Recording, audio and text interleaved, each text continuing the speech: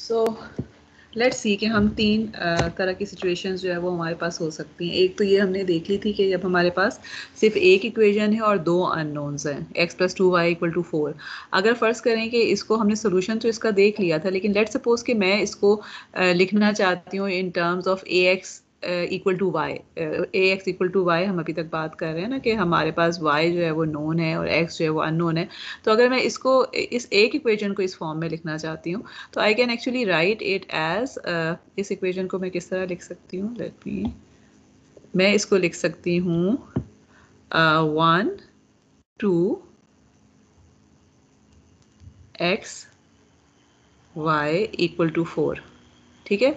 तो अगर मैं इससे कंपेयर करती हूँ जो मैंने ऊपर लिखा हुआ है तो दिस नोन uh, हमारे पास जो ऑब्जर्वेशन है इस केस में this is equal to four जो y हमारे पास इस इक्वेशन का है this is actually equal to four unknown जो x वेक्टर है that this is this vector और जो a मैट्रिक्स है वो इस तरह से है। तो इसका मतलब है कि दिस uh, इक्वेशन जो है जो मेरे पास जिसमें number of equations were less than number of unknowns इसको मैं A X plus A equal to Y की केस में लिख सकती हूँ। लेकिन आई हैव सीन के A is a fat matrix which means के नंबर ऑफ़ रोज जो ए के हैं वो नंबर ऑफ़ कॉलम से कम है। Okay now I want to write this the second case जिसमें हमारे पास जो है अगर मैं फ़र्ज़ करें कि कह देती हूँ कि ए का जो okay let me use the same colour A जो है this is M by N तो हमारा जो पहला केस है, जिस हम यहाँ पे बात कर रहे हैं, इस केस में क्या है हमारे पास? दिस केस नंबर वन जो मैं बात कर रही हूँ let me just call this as number one तो नंबर वन में मेरे पास नंबर ऑफ़ रोज कितनी है? वन है। And number of columns are two या in other words M is less than N ठीक है? अब हम दूसरा केस कौन सा लेते हैं? Let's call this as two इस केस में क्या हो रहा है कि मेरे पास अगर मैं इसको again A X equal to Y की फॉर्म में लिखना चाहूँ तो I will have something similar to जो हमने पिछले उसमें भी स्लाइड में देखा था which was for the case of linear regression के जिस तरह फॉर्म में था, इसमें क्या हो जाएगा मेरे पास?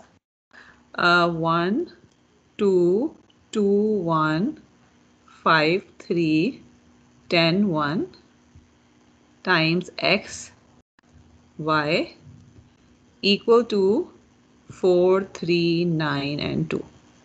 ठीक है and again this is uh, vector y this is unknown vector x and this is matrix A.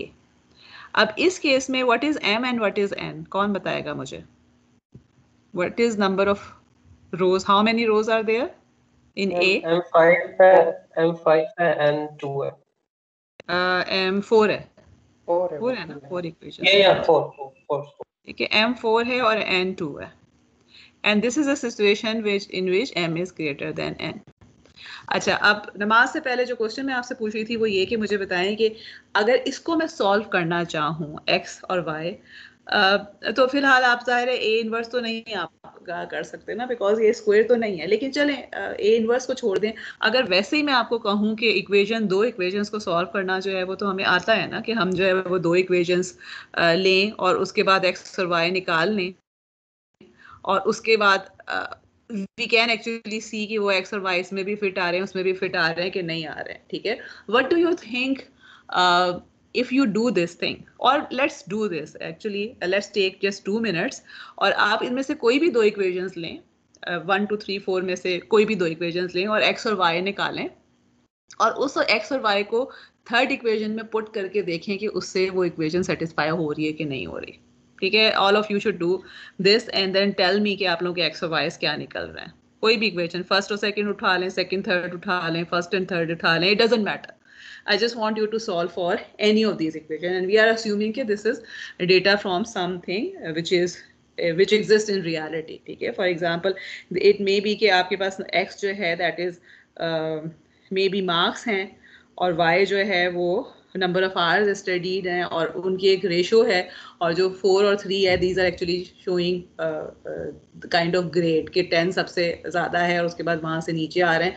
तो उनके लिए डिफरेंट कॉम्बिनेशन से जो है कि किसी ने दो घंटे पढ़ा था, उसने इतने मार्क्स लिए थे तो उसका ग्रेड इतना आया। किसी ने तीन घंटे पढ़ा था, उसके इतने मार्क्स लिए तो उसका ग्रेड इतना आया। खैर, उसमें तो एक इट्स अगेन है not a very good example क्योंकि उसमें उसमें तो एक कोलेब्रेशन कोरिलेशन होता ही है कि ज़्यादा पढ़ें, लेकिन देर इज़ अ पॉसिबिलिटी कि किसी ने ज़्यादा भी पढ़ा है तो मार्क्स कम आ गए हैं ग्रेड कम आ गए किसी ने कम पढ़ा है तो उसके ज़्यादा आ गए सो द थिंग इसके जो मल्टीप्लीकेटिव फैक्टर्स हैं they are they can be different ठीक है? बट द थिंग इज़ के I just want you to check के एक्स और वाई आप जब किसी भी दो इक्वेशन से निकालते हैं क्या उससे थर्ड इक्वेशन सेटिस्फाई हो रही है कि नहीं हो रही? किसी ने निकाला एक्स और वाई जी कोई मुश्किल तो नहीं होना चाहिए। यस मैम नहीं होगी ना सेटिस्फाई मैम ये वो सेपरेट इक्वेशन है। जो दो आप इक्वेशन ले जो पे दो लेंगे उसका वापस से सेटिस्फाई मतलब सेटिस्फाई करेंगे ना। जो डिफरेंट होगा उसका अलग से होगा। या तो आप तीसरी पहली और तीसरी का लेते हैं तो वापस से सेटिस्फाई करेंगे। वो अगर पहली तीसरी आप लेते हैं तो दूसरी सेटिस्फाई वो नहीं करेंगे क्योंकि वो okay, आपने दो कर लिया ना। ओके वेरी गुड ठीक है। So what does it mean आपका नाम क्या है? कौन ये मुझे नई आवाज़ आई है so I would like to know के कौन बोल रहा है एसन जी। जी तो ऐसा ना आपकी ऑब्जर्वेशन बिल्कुल ठीक है ठीक है? और द थिंग इज़ कि रियलिटी में ऐसा ही होता है कि आपके पास so what it is so what actually we conclude from here is कि नंबर ऑफ़ ऑब्जर्वेशन अगर आपके पास बहुत ज़्यादा भी आ रही है, यानी नंबर ऑफ़ अननोन बेशक कम है और नंबर ऑफ़ इक्वेशन बहुत ज़्यादा भी हैं it is not actually solving the problem because of the reason कि जिस तरह ऐसा ने बताया है कि एग्जैक्ट यानी इट इज़ इम्पॉसिबल कि इन चार इक्वेशन में से आप कोई एक्स और वाई ऐसा निकाल लें जो कि चारों के चारों को सॉल्व कर। और अभी तो मैंने सिर्फ़ चार इक्वेशन देखी हुई अगर ये एक्चुअल अगर मैं सिनेरियो में देखती हूँ तो this can be data of maybe thousand of student और हंड्रेड ऑफ़ स्टूडेंट जो है या क्लास के एटलीस्ट बीस, पच्चीस स्टूडेंट्स का जो डेटा है। तो इसका मतलब है कि इट इज़ नॉट नेसेसरी तो in in this case again कि मेरे पास जो है, जिस तरह इस केस में मेरे पास नंबर इस केस में मेरे पास इनफाइनाइट मैनी सॉल्यूशंस थे, जो मैंने पहला वाला केस लिया है, ठीक है? इस केस में क्या होगा कि देर इज़ अ पॉसिबिलिटी कि most probably there is no solution और so in other words what we would like to do in that case कि जब हमारे पास कोई भी जब हमारे पास बहुत से सोल्यूशन है हम उसमें से बेस्ट सोल्यूशन निकालने की कोशिश करते हैं। जब हमारे पास uh, कोई भी सोल्यूशन नहीं है तो उस केस में हम अप्रोक्सीमेट सोल्यूशन निकालने की कोशिश करते हैं कि we will try to find some और अगेन ये लीनियर रिग्रेशन को अगर जहन में रखें कि we want to find some solution कि जो आपको कोई मिनिमम एरर के साथ जो है वो आपको ऐसा एक्स वाई हम निकालेंगे जो कि तमाम केसेस में मिनिमम हर केस में एरर तो दे रहा है, लेकिन सम हाउ अगर मैं सारे एरर्स को जो है वो टोटल करूँ तो मुझे मिनिमम एरर मिल रहा है, ठीक है? Okay now this is the third case जो कि हमारे पास, जो again this is actually the case जो कि हम ऑलरेडी करते हैं, कि दो इक्वेशंस हैं और दो ही अननोन हैं, ठीक है? So in this case my M is 2 and n is also 2 अब इस केस में मुझे बताइए कि would there be any solution और नॉट इन इक्वेशंस को देख के जो है वो क्या पता चल रहा है।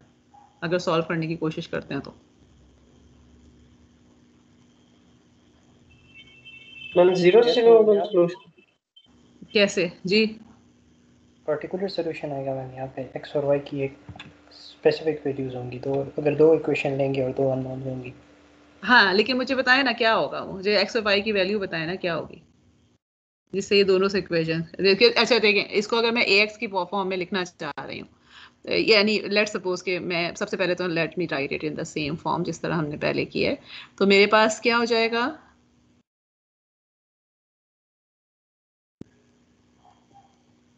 Okay. So this is my a this is x and this is y. ठीक है? अब आप मुझे कोई ऐसा x और y दें जो कि इसको सॉल्व करे। Can you find it actually अब तो a को देख के आपको अंदाज़ा हो जाना चाहिए कि कैन यू और can you not ma'am x2 नहीं कर सकेंगे। नहीं कर सकेंगे क्यों? मैम वो a मैट्रिक्स देख के नज़र आ जाता है हमें वो डिपेंडेंट बन रहे हैं।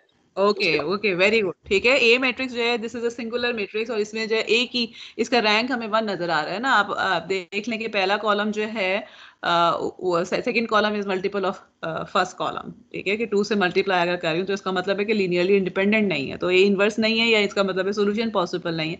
So in this case actually and then अगर आप इसको इस फॉर्म में लिखे बगैर भी देखते हैं तो अगेन वही वाली बात है कि अगर मैं लेफ़्ट हैंड साइड लिखूँ तो लेफ़्ट हैंड साइड में मेरे पास जो है एक्स प्लस और minus x minus two y को ऐड करूँ तो ज़ीरो आ जाता है, लेकिन राइट हैंड साइड पे फोर प्लस फोर को ऐड करके एट आ रहा है तो इसका मतलब है कि आपके पास ये बैलेंस इक्वेजन नहीं है। So what we are actually seeing from here is कि इवन अगर स्क्वायर भी है हमारे पास यानी नंबर ऑफ़ अननोन्स जो कि हम वैसे हमें लग रहा होता है कि आइडियल सिचुएशन है कि number of unknowns same as number of equations लेकिन उस केस में भी अगर uh, आपके पास जो है वो लीनियरली इंडिपेंडेंट कॉलम्स नहीं है ए के या अगर आप इस फॉर्म में लिखने से पहले देख रहे हैं एक्स इक्वल टू वाई में देखने लिखने से पहले सिर्फ़ इसको चेक कर रहे हैं तो यू कैन सी कि these equations are actually giving the same answer same observation on the right लेकिन uh, जो लेफ़्ट पे है वो इक्वेशन डिफरेंट है कि आपके पास कोई भी एक्स और वाई अनलेस एंड अनटिल के आप जीरोज ले लेते हैं, ठीक है? कि आपके पास जो ट्रिवियल सोल्यूशन है या, नहीं सॉरी जीरोज में भी नहीं आएगा। अगर इनमें से जो है वो आप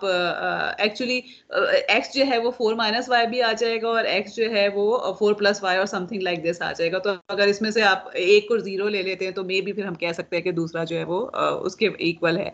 बट द थिंग इज़ के this this kind of uh, so what we are actually trying to see is कि हमारे पास number of scenarios हो सकते हैं जब हम इसको solve करने की कोशिश कर रहे हैं linear inverse problems को and all of uh, all, so one of the scenario can be कि there is no solution जब भी हमारे पास there is no solution है whether it is for a square case or it is uh, something which is uh, टॉल ए के form में इस केस में भी try to find some approximate solution जिससे हमें एरर मिनिमाइज हो रहा हो।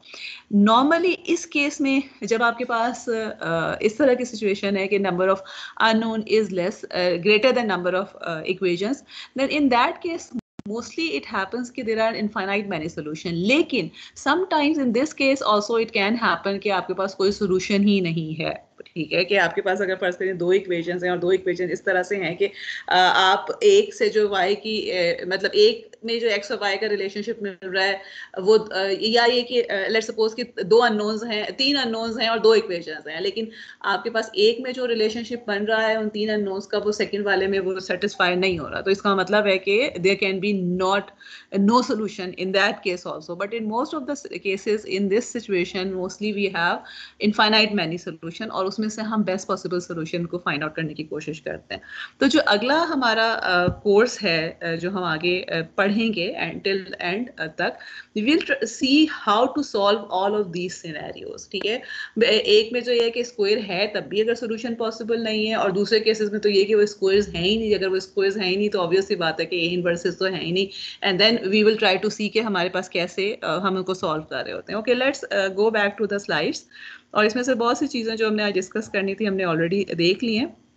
Let just read this things कि जो हम ऑलरेडी डिस्कस कर चुके हैं कि लीनियर इन्वर्स प्रॉब्लम्स क्या होते हैं? In solving the inverse problems we start with the result और मेज़रमेंट ठीक है? And then go to the uh, go on to infer what parameter caused those measurements. These problems don't usually have unique solutions. Okay, we have actually seen uh, since multiple set of parameter might explain the same measurement data, major data. So we have y and we want to solve for x in the case of ax equal to y. और इसमें से एक example जो है ये E e की example I will not read it क्योंकि इसमें टेक्निकल uh, जो है वो टर्म्स भी लिखी होंगी लेकिन basically what this is actually telling is कि अगर जब हम ई e ले रहे होते हैं ब्रेन uh, से डेटा ले रहे हैं तो uh, हमें इलेक्ट्रिकल सिग्नल्स मिल रहे होते हैं।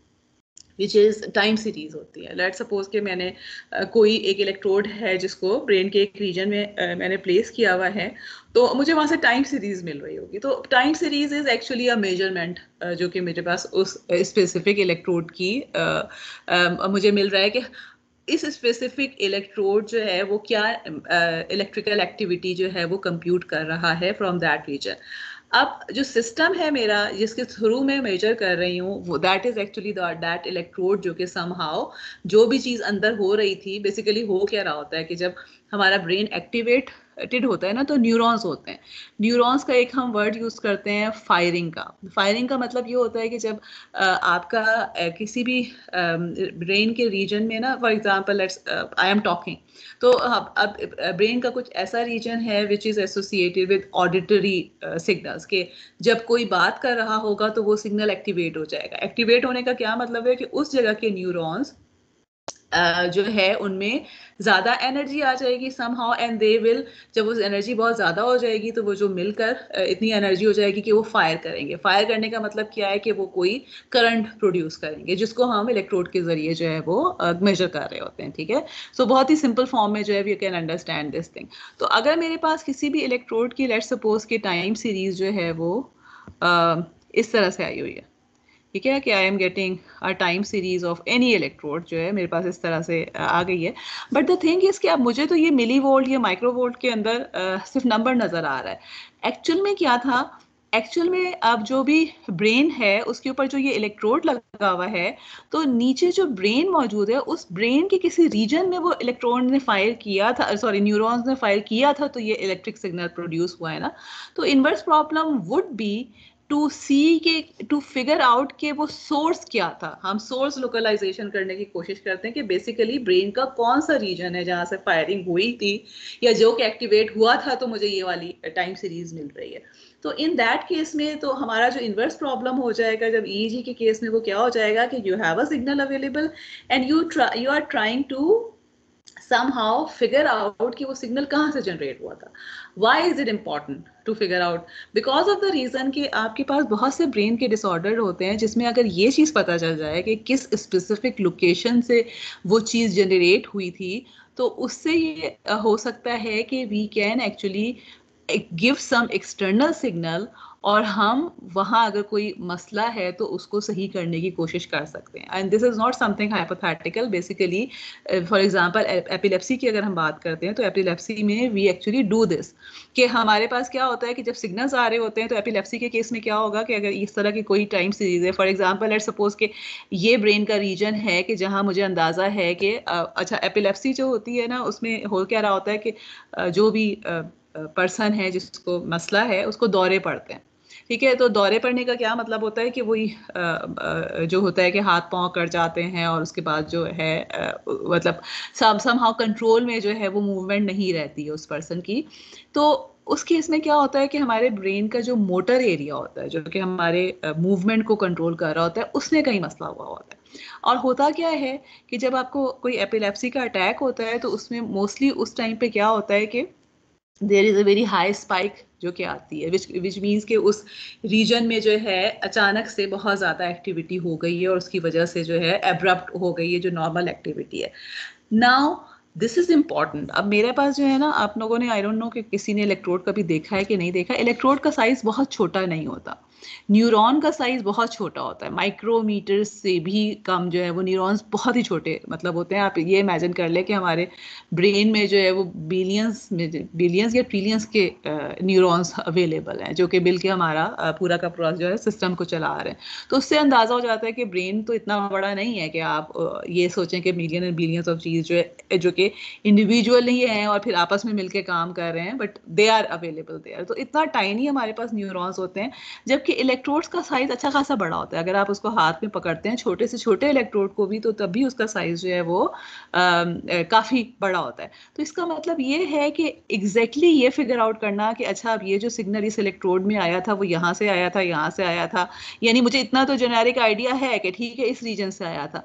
लेकिन ये कि इसमें से स्पेसिफिकली कौन से रीजन से आया था, या सोर्स को स्पेसिफिकली आइडेंटिफाई करना इज़ नॉट दैट ईजी लेकिन it is important for example in the case of अगर हम एपिलेप्सी की बात करते हैं, क्योंकि अगर मुझे ये एग्जैक्ट लोकेशन पता होगी then I can give some signal from outside जो कि इसको कंट्रोल कर सकता है, इसकी स्पाइक को आने से रोक सकता है, ठीक है? तो द थिंग इज़ के this inverse problem is important कि मुझे ये पता चल गया है कि इस इलेक्ट्रोड से ये चीज़ आ रही है but I need to know कि वो बेसिकली उसका सोर्स जो पैरामीटर था, या जो एक्चुअल चीज़ थी, वो थी किस लोकेशन पे जहाँ से वो चीज़ आ रही थी। तो this is actually one of the inverse problem example जो कि हम बहुत ज़्यादा जो है अगेन ई जी में तो हमेशा करते हैं सोर्स लोकलाइजेशन या सोर्स आइडेंटिफिकेशन जो है वो इंपॉर्टेंट होती है। फिर इसके अलावा डी कॉन्वोल्यूशन है। डी कॉन्वोल्यूशन का तो एक हमने जो एग्ज़ाम्पल पीछे देखी है ब्लरिंग uh, वाली। That is actually deconvolution कि आपके पास जो है uh, कोई इमेज है कोई भी इमेज है और उस इमेज uh, को जो है वो आपने किसी मतलब आपको जो है वो ब्लर इमेज मिल रहा है। ठीक है, कि यहाँ पर जो है वो इमेज मिल रहा है जिसमें ब्लरिंग हुई हुई है। और कोई नॉइज़ ऐड हुई है डॉट्स बहुत ज़्यादा ऐड हुए हुए जिसको हम सॉल्ट एंड पेपर नॉइज़ कहते हैं, और समथिंग किसी भी तरह की जो है वो नॉइज़ ऐड हुई है, हुई हुई है। तो बेसिकली द आइडिया इसके अगर लीनियर सिस्टम था तो इसका मतलब है कि जो इमेज है वो कहीं जो जा रहा था तो it was it must be convolving with system और कन्वॉल्व होने के बाद हमें ये ऑब्जर्वेशन मिल रही है।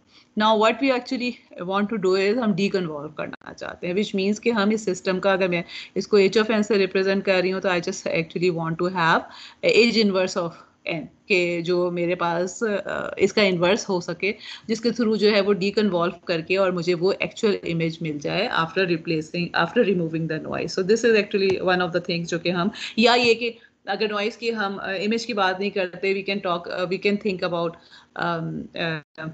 telephonic signal जो आप कन्वर्सेशन कर रहे होते हैं मोबाइल फ़ोन पे जब कर रहे होते हैं तो बेसिकली जब इतनी uh, जी जी बोले। मैम हम कह रहे हैं हम नॉइज़ के साथ इमेज को डीकन्वॉल्व कराएँगे। नॉइज़ के साथ नहीं डीकन्वॉल्व करवा रहे। नॉइज़ रिमूव करने के लिए जो सिस्टम है उसके इनवर्स से डीकन्वॉल्व करवाएँगे। ठीक है? यानी ये जो एच ऑफ़ एन है ना this is kind of a ठीक है ना? और इसको इसको हम इन्वर्स कर रहे हैं कि कन्वॉल्व होके हमें मिला था। नॉइज़ जी। अगर हम जी जी बोले। मैम नॉइज़ की अगर हम बात करें तो मोस्टली तो रैंडम डिस्ट्रीब्यूशन होती है इसकी। मतलब नॉइज़ तो रैंडम होती है मोस्टली तो क्या ये परफेक्टली हम इसे रिमूव कर सकते हैं? एक्चुअली अगेन परफेक्टली जो है ना, वो मोस्टली हम नहीं कर पाते, ठीक है? लेकिन द थिंग इज़ के हमने, क्योंकि we we can actually remove it till a certain level और again in order to identify because देखें, हमें, हमारे पास ओरिजिनल इमेज तो मौजूद नहीं है ना, ठीक है? तो जब ओरिजिनल इमेज मौजूद नहीं है तो इसका मतलब ये है कि we don't have anything to to compare it with कि हमें ये तो ऑटो एग्जैक्टली नहीं पता।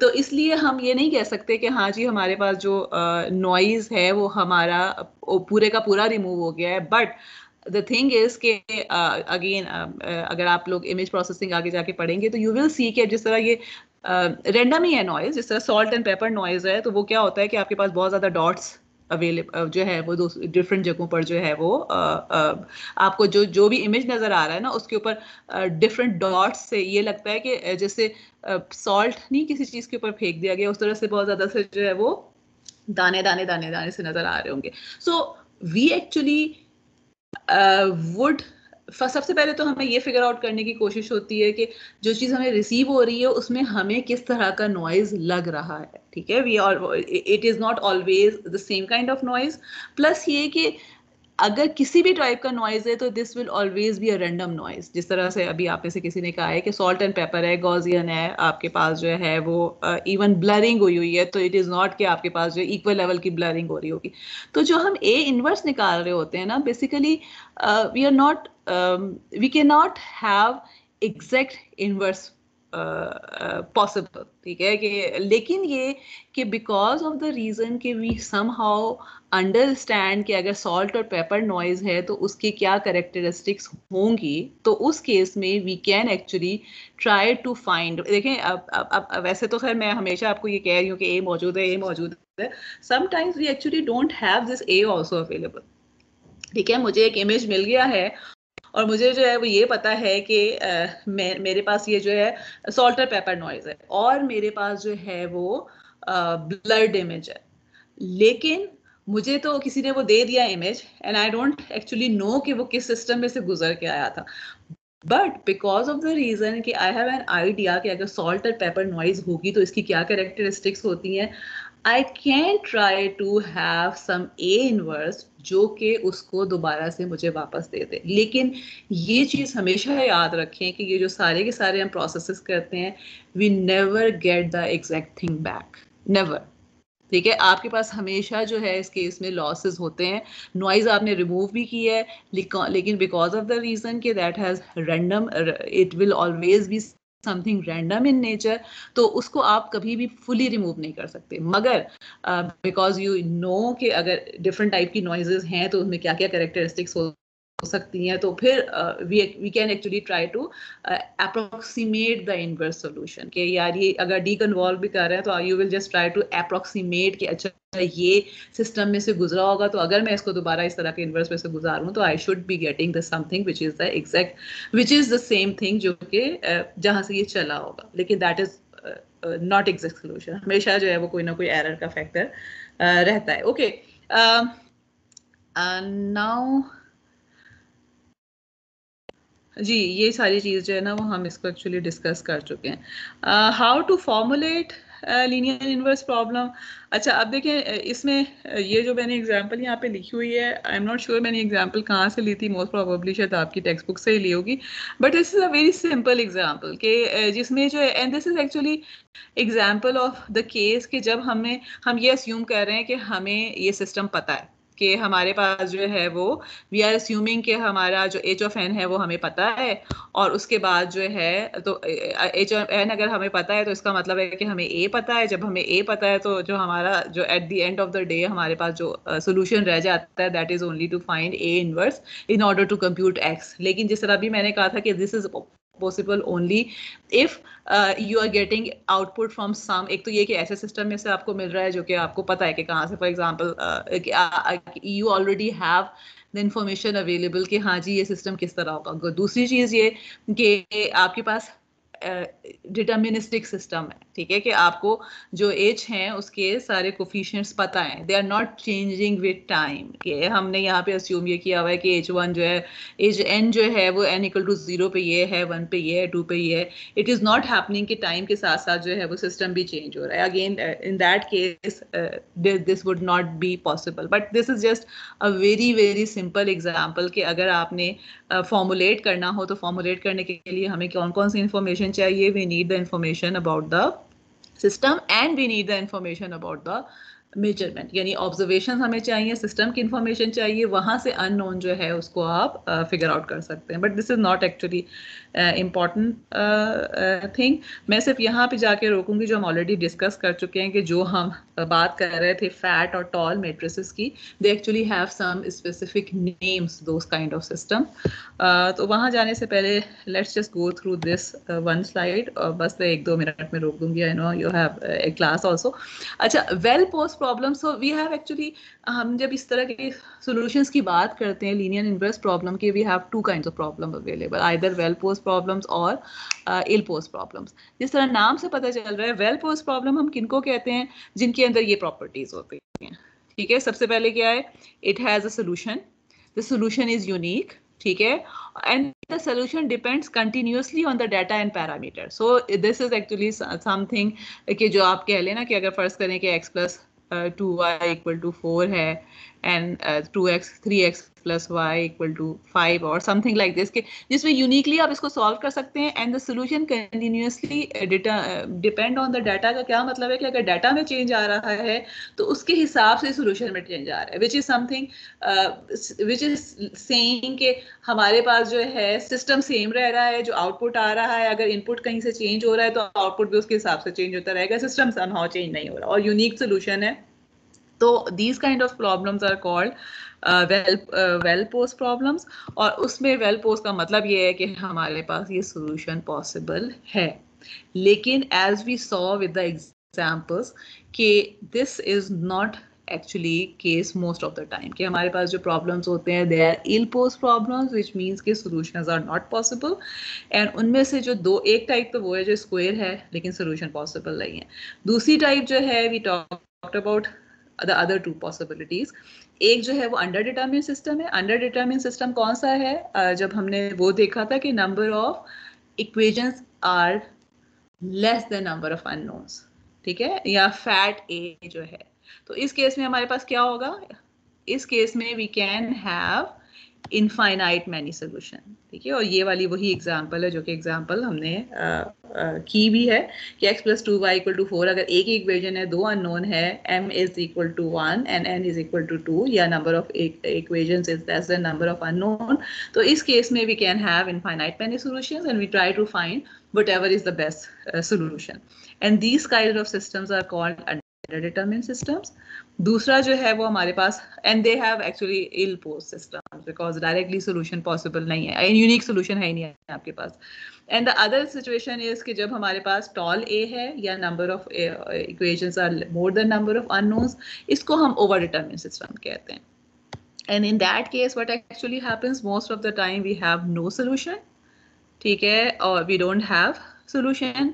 तो उस केस में we try to find least square solution okay we will stop here ये ये एग्ज़ाम्पल एक्चुअली करेक्ट एग्ज़ाम्पल नहीं है। इसमें जो है I shouldn't have this last last जो भी कॉलम है वो नहीं होना चाहिए था। Now this is actually tall matrix या ये के ओवर डिटर्मिन सिस्टम है और इस केस में जो है वो we will try to find the least square solution which means कि हम मिनिमम uh, जो है उसका एरर फाइंड आउट करने की कोशिश करेंगे। Okay I will stop here just reiteration about one thing next week से I will be taking pop up quizzes because uh, और पॉपअप क्विजेज जो है वो उसी दिन की क्लास में से होंगे बिकॉज़ बहुत दफ़ा मैंने ऑब्ज़र्व किया है कि लॉग इन होते हैं लोग लेकिन क्लास में नहीं होते तो I just want you to be in the class आपके अपने लिए भी फ़ायदा मंद है और मुझे भी अच्छा लगता है कि बाकी लोग ज़्यादा लोग हिस्सा ले रहे होते हैं। तो जो क्लास के एंड में जो है आई वॉन्ट बी सेइंग कि मैं कौन से दिन में लूँगी ट्यूजडे या वेंसडे लेकिन जो है it is also not necessary कि मैं हर वीक में ले रही हूँ। लेकिन ये कि I will be taking popup quizzes which will be